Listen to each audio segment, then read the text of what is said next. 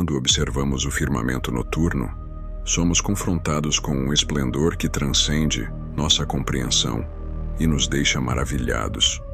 Contudo, juntamente com essa magnificência, pode residir algo intimidador, ou talvez não. Como Arthur C. Clarke ponderou, a possibilidade de estarmos sozinhos ou acompanhados no universo é, de igual modo, aterrorizante. Você pode ter percebido que estamos adentrando a discussão sobre vida alienígena. Este tema tem sido um pilar na ficção científica, explorando uma variedade de conceitos teóricos e dando origem a inúmeras teorias conspiratórias. Talvez você esteja se questionando sobre nosso interesse em descobrir formas de vida além da Terra e o motivo pelo qual ainda não fizemos contato. Por que deveríamos procurar por eles considerando a possibilidade de representarem uma ameaça para nós? A verdade é que, movidos pela nossa curiosidade e natureza inquisitiva, buscamos desvendar os mistérios do universo e responder à grande questão: estamos isolados no cosmos? O universo, com suas bilhões de galáxias, abriga um número incalculável de planetas, muitos dos quais habitáveis.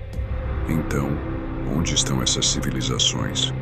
Esperaríamos ver um cosmos repleto de atividades interestelares, mas por que isso não acontece?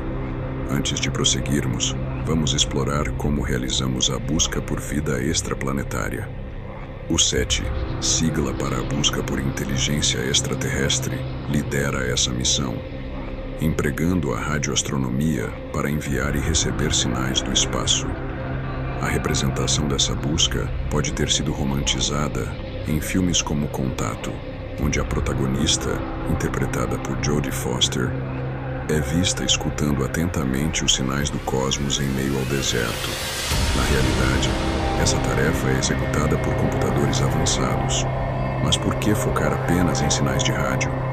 A possibilidade existe de que civilizações alienígenas utilizem meios de comunicação muito mais sofisticados, como formas de transmissão hiperdimensional.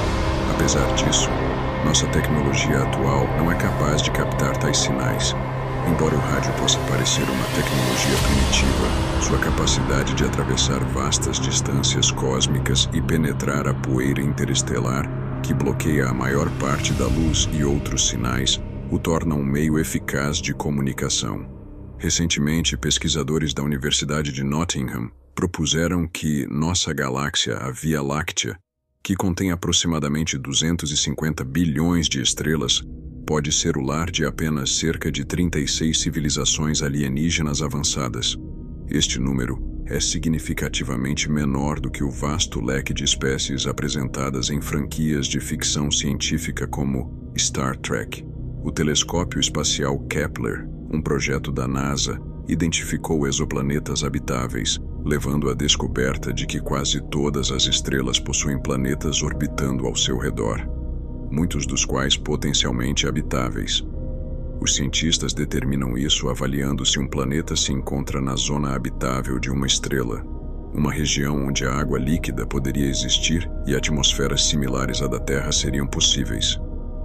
Nosso próprio sistema solar abriga a Terra, um planeta com água e vida, mas também outros corpos celestes, como a lua Europa de Júpiter, que possui um vasto oceano sob sua superfície congelada, onde a vida poderia teoricamente existir. Sabemos que a vida pode se desenvolver e prosperar em condições extremas aqui na Terra, então por que não em outros lugares?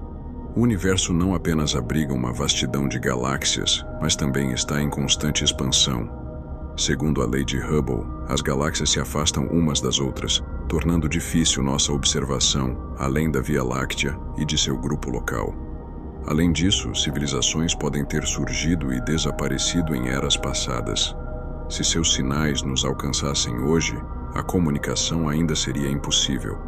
Com cerca de 13 bilhões de anos, nossa galáxia passou por um longo período antes de se tornar hospitaleira para a vida. A Terra, com seus 4,54 bilhões de anos, sugere que civilizações poderiam ter existido muito antes de nós. Então, resta a pergunta: onde estão elas e como seriam? Segundo, a escala de Kardashev, que classifica civilizações pelo seu consumo energético, Existem três tipos principais. Uma civilização do tipo I teria dominado todos os recursos de seu planeta natal. Estamos atualmente classificados como uma civilização tipo 0.75, segundo essa escala. Uma civilização do tipo segundo teria a capacidade de utilizar toda a energia de sua estrela, possivelmente através de uma estrutura como a esfera de Dyson.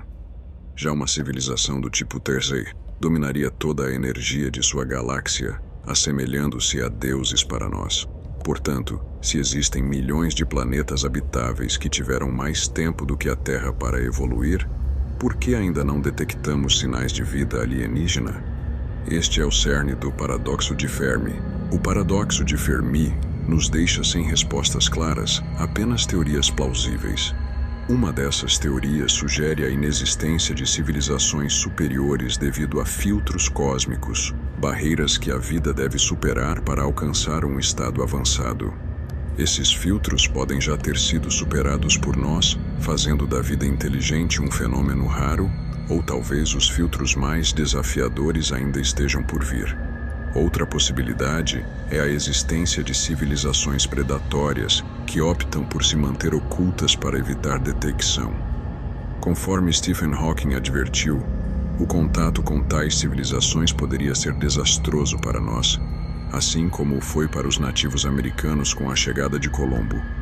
O SETI especula que civilizações avançadas poderiam não apenas ser tecnologicamente superiores, mas também mais altruístas no entanto, na natureza, observamos dois tipos de altruísmo: o altruísmo voltado para a preservação genética, como o de um esquilo que alerta sobre um predador, e o altruísmo recíproco, baseado na troca de favores.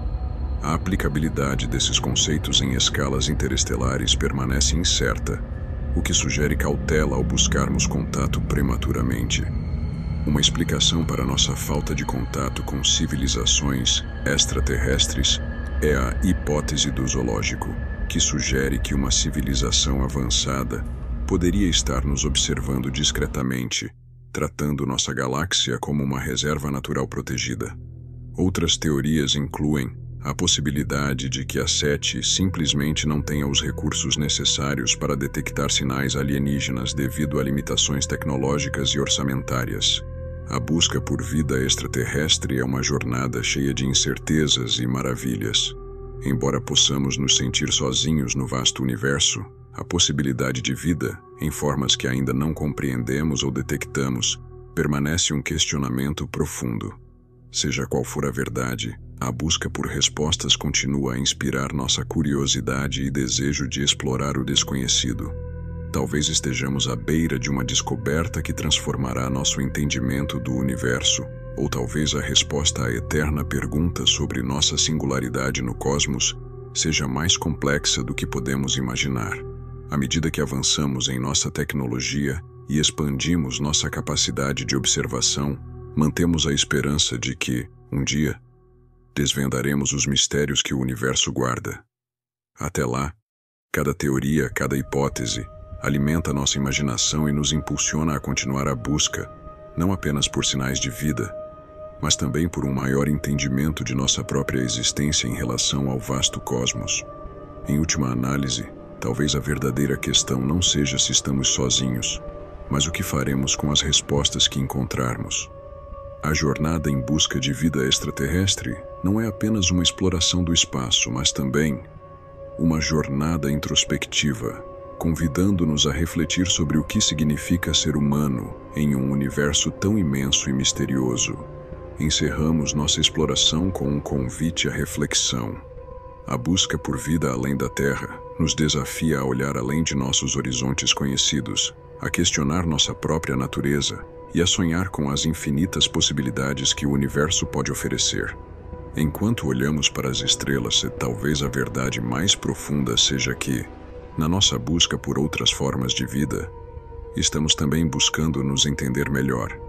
E assim, enquanto a noite desvenda seu manto estrelado sobre nós, permanecemos com os olhos fixos no cosmos, maravilhados com sua vastidão e repletos de perguntas ainda sem resposta. O que encontraremos além do próximo horizonte cósmico? Somente o tempo e nossa incansável busca por conhecimento revelarão.